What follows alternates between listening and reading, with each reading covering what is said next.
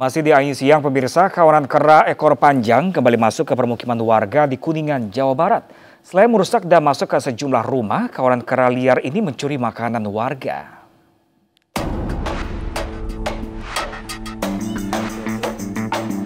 Koloni kera ekor panjang kembali menyerbu ke permukiman warga di Kuningan, Jawa Barat. Sebelumnya, koloni kera ini memasuki kawasan Dusun Sampora, Desa Purwasari, Kecamatan Garawangi, Kuningan.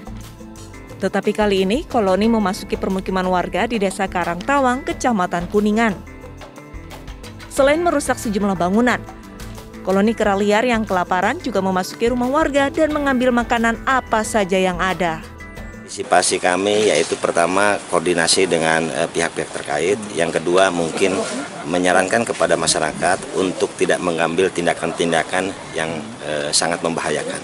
Mudah-mudahan dengan adanya kehadiran eh, tim dan kar Kabupaten Kuningan itu bisa teratasi dengan baik.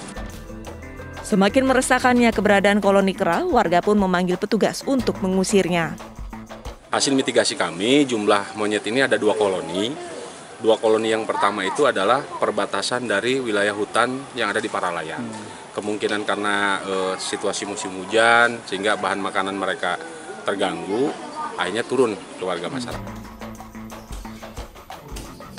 Diduga akibat kekurangan makanan di habitatnya, petugas mencatat terdapat dua koloni kera yang turun ke permukiman warga. Petugas mengimbau warga tidak melukai kawanan kera dan mengusirnya dengan alat peledak sederhana atau bunyi-bunyian yang mampu menjauhkan kera dari permukiman.